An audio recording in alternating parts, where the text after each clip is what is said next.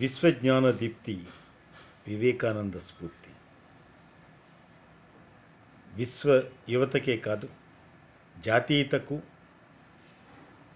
విశ్వ విజ్ఞానానికి కూడా వివేక ప్రతీక అయినటువంటి స్వామి వివేకానంద జయంతి సందర్భంగా జాతీయ యువజనోత్సవ సందర్భంగా అందరికీ కూడా శుభకామనలు అందిస్తూ తత్వజ్ఞానం కానీ స్థితప్రజ్ఞత కానీ విజ్ఞతల విశిష్ట రూపమైనటువంటి విజ్ఞతా బాణి వివేకవాణి.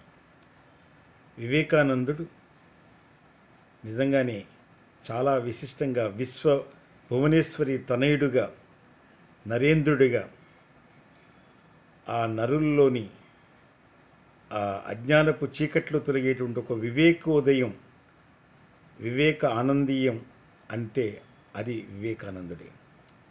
విశ్వభావన ప్రేమికుడిగా వినమ్ర విధేయతల ధర్మ విశేష నాయకుడిగా సహనశీల సంఘ సంస్కర్తగా కర్తవ్యశీలి విజ్ఞాన ప్రబోధకుడిగా వివేకానందుడు విశ్వ ఆదర్శనీయుడు.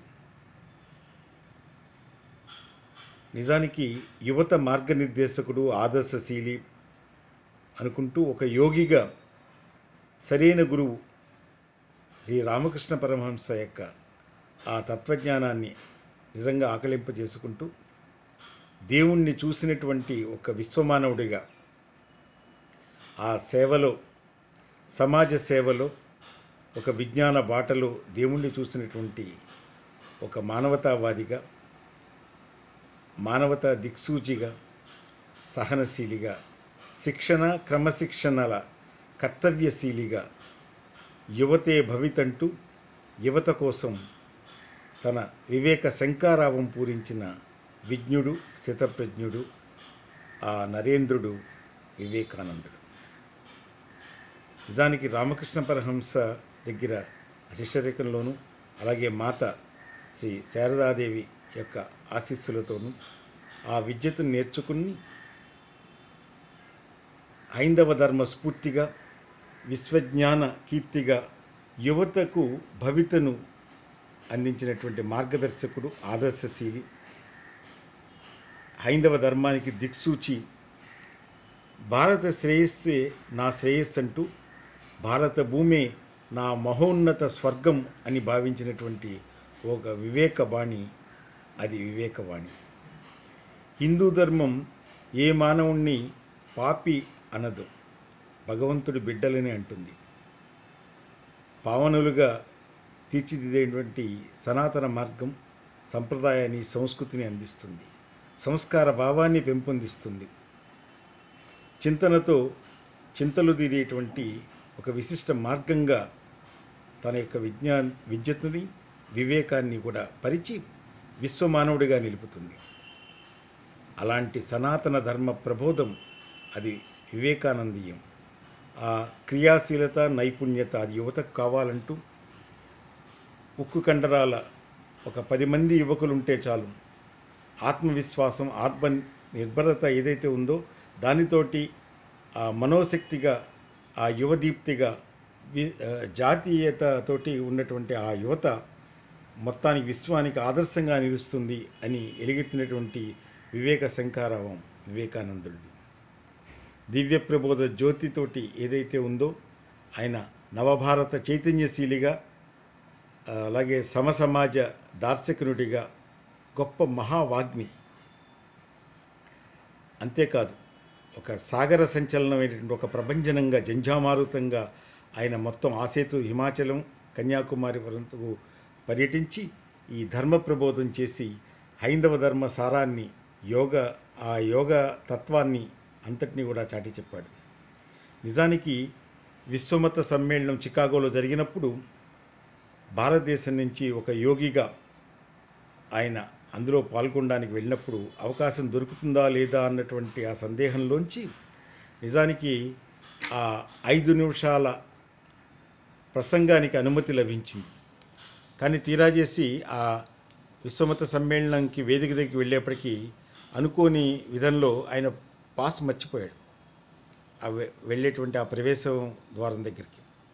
అప్పుడు అనుకుంటూ ఉంటే ఆ సంకల్ప బలం ఆ సంకల్ప సిద్ధి కనుక చిత్తశుద్ధి ఉంది కనుక ఆ సమావేశ అధ్యక్షుడి యొక్క భార్యామణి ఆవిడ వెళ్తూ ఆ విదేశీ వంత ఈయన్ని చూసి ఈయన యొక్క ఆ ముఖ వచ్చస్సుతో ఒక జ్ఞాన తేజస్సుని కాంచి ఆవిడ వెంటనే ఆవిడ తను వెంట తీసుకువెళ్తూ ఉంటే అందరూ కూడా ఎందుకంటే అక్కడంతా టైలు సూట్లతోటే ఉన్నవాళ్ళే. ఈయన కాషాయ ఆ కాషాయంలో హైందవ ధర్మ తేజం విశ్వతేజంగా చూపించినటువంటిది. అందుకనే ఆ కాషాయంలో ఒక త్యాగి యోగి భోగలాలసకు అతీతంగా ఒక త్యాగయోగాన్ని రాజమహర్షిలాగా అనిపించినటువంటి ఆ త్యాగశీలతను అంతటిని కూడా ప్రతిబింబించినటువంటి ఒక విశ్వజ్ఞాన యోగి వివేకానందుడు. ఆ వివేకానందుని కూడా వెంట తీసుకెళ్తుంటే అందరూ చూస్తుంటే తర్వాత ఆయనకి ఐదే నిమిషాలు ఇచ్చారు. ఆ ఐదు నిమిషాల్లో నిజంగా ఒక విజ్ఞత ఎలా ఉంటుంది అని చెప్పడానికి ఆ ఐదు నిమిషాల్లో ఆయన ప్రారంభించడానికి అందరూ అప్పటిదాకా కూడా లేడీస్ అండ్ జెంట్మెన్ కానీ ఈయన ఒక్కసారిగా ఒక సోదర సోదరీమణులారా అంట my dear brothers and sisters అని ఎప్పుడైతే సంబోధిస్తుందో అప్పటితోటే అందరినీ కూడా ఆకట్టుకుని ఆ ఐదు నిమిషాల అయిన తర్వాత ఆయన ఎంతో క్రమశిక్షణ గల వ్యక్తి కనుక తన యొక్క ప్రసంగాన్ని ముగిస్తూ మన యొక్క హైందవ ధర్మం యొక్క విశిష్టతని మన యొక్క భారతీయతను చాటిన తర్వాత దిగిపోతుంటే ఎంతో బాగుంది అని అందరి చేత సహభాష అనిపించుకుని మళ్ళీ తన యొక్క ప్రసంగాన్ని కొనసాగించమని అంటే అది ఐదు నిమిషాలలా యాభై నిమిషాలు కాదు రెండు గంటల సేపు కూడా ఆ ప్రసంగాన్ని అలా వింటూనే అందరూ కూడా ఎంతో తన్మయత్వంతో భారత జాతి ఆ కేతనాన్ని ఆ ధర్మకేతనాన్ని విని ఆ పరవశంతో ఎంత ఎంతో విశిష్టంగా కొనియాడినటువంటిది. అటువంటి హైందవ జ్యోతి ఆ దీప్తికి స్ఫూర్తి అది వివేకానంద యొక్క ఆ విజ్ఞత ఆ వివేకమే. అటువంటి ఆ వివేకానందుడి యొక్క ఆ స్ఫూర్తి ఆ చికాగోలో విశ్వ మత సమ్మేళనంలో మన హైందవ స్ఫూర్తి అంత ఖ్యాతిగా నిలిచింది కనుకని ఎప్పటికీ చిరస్మరణీయం. ఆయన ఆ గ్రంథాలయాల్లో చదువుతున్నప్పుడు అనుకునేవారు అందరూ కూడా. ఒక్కొక్క పుస్తకాన్ని వెంట వెంటనే తెచ్చిచ్చేవాడు. ఆ గ్రంథాల అధికారులు కానీ మిగతా వాళ్ళందరూ అక్కడ ప్రొఫెసర్స్ ఎప్పుడైనా ఆశపడితే వాళ్ళందరూ ఏంటి ఏం చదువుతున్నారు మీరు? అని అంటే నేను చదివేశానన్న.